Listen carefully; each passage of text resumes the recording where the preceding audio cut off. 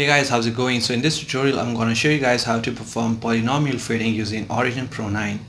So for this tutorial, I'm using Origin Pro 9. However, even if you have any older version of Origin or any uh, similar version of Origin, then uh, the procedure would be somewhat similar. So I think that you can still follow this tutorial. So just go ahead and launch your Origin and then go to the worksheet. And uh, let's say you have some data on which you have to perform the polynomial fit. So I have that data here already uh, written in the Excel file. So I'll just go ahead and copy that. However, you can either enter data manually or just copy paste it like me from whatever source you have your data from so just go ahead and right click there and click on paste and then select these two columns and then right click on these to click on plot and then go to symbol and then select scatter. So you would have a nice little scatter plot here. So now if you want to perform a polynomial fitting on all these data points then you can go ahead and click on analysis and then go to fitting and then select um, polynomial fit from right here and then go to open dialog so here this window would pop up that would ask you for a lot of settings and that you would like to uh, set to perform the polynomial fitting. However we'll just uh, stick with some basics for this tutorial. So the first thing is the range. That is the range of data on which the polynomial fitting would be performed. And the second important point would be the order of the polynomial or the degree of the polynomial that is being used for the polynomial fit.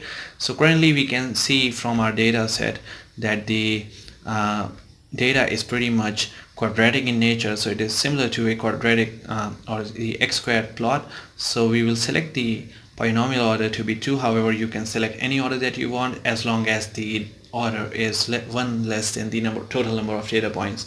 So the total number of data points should always be at least one greater than the order of the polynomial. So for this tutorial let's just say we are selecting 2 and for now let's just keep the range to the full data set. So we are currently performing the polynomial fitting on the full data set. However I will also show you how to select a range of data in case you don't want to perform the fitting on the full data set and then just go ahead and click on OK. So it will ask you if you like to see the report sheet and you can either click on yes or no whatever you like. So I'll just go ahead and click on yes and this would show you a lot of cool stuff. Like first thing would be the coefficients so it shows the coefficients of x squared x and the x to the power 0 terms. That is the constant. So the constant would be 0.33817 the coefficient of x term would be minus 0.33536 and the coefficient of x squared term is 1.03564 now you can compare this result with the excel one. So here you can notice that from excel we got the answer to be 1.0356 which is pretty much similar to this then 0.3354 which is again similar to this just rounded off. And then so we basically we are getting the same results from Excel as well as from Origin. So this method is pretty basic and basically um, almost all these softwares have this. So then there are a lot of other information as well. Number of data points degrees of freedom is 7 as there are three constraints. And then you have the adjusted R square value residual sum of R square um, squares and all that stuff and then you have a uh, quite neat plot of the data points as well as the fitted curve and then you can even go back to the graph that you just plotted and here also you would have the fitted curve as well as the small table showing all the data that is.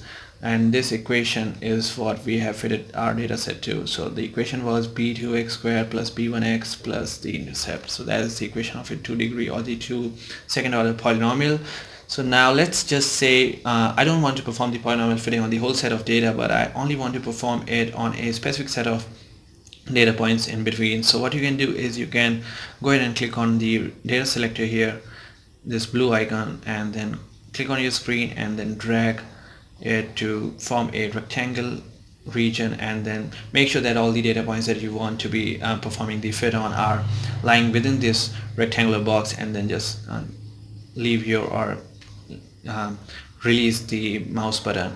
So now these three data points are selected and um, then just go ahead and click on analysis fitting and then polynomial fit and open dialog. And this time you will notice that the range selected is the 6th, 7th and the 8th data point. And then there's also an option that if you want to plot if you want to plot the fitted curve or not. So I would like to see the fitted curve so I'll just uh, keep this option checked. However you can change that according to your needs. You can even change other options such as the intercept or you can have the errors as weights or a lot of other things that you can um, tune according to your needs. So just go ahead and click on OK and it would show you a plot of or the fitted equation for the three data set points. So here it is okay. And in case you are not able to see the fitted curve here you can just zoom in and you can notice there is another set of line denoting the second fitted curve and you can even just go ahead and change its color so that it is more clear so that you can distinguish between it pretty easily and then click on ok and now you can see the newer fitted curve and has the equation um, 2.28 x squared minus 18.26 x plus 64.26 and let's just compare our results with excel again. So I selected the 6th 7th and the 8th data point right? So just change the range here like this and then observe it here. Um, let me just switch to the full view. Click here go to trend line more options trend line options. Polynomial display equation on the chart. So just remove the older equation. You have the newer equation here. So 2.28 18.26 and 64.26 2.28 18.26 as well as 64.2 so the results are again pretty similar. So that's it. That's how you perform a linear um, sorry a polynomial fitting on a set of data using origin and you can even choose a higher degree polynomial in this tutorial. I only performed a two degree fitting. However you can do whatever you want. Well that's it. Thanks for watching. I hope you guys enjoyed this tutorial. In case you did then don't forget to hit the like button and smash the subscribe button for more videos like this. And thanks for watching. Have a great day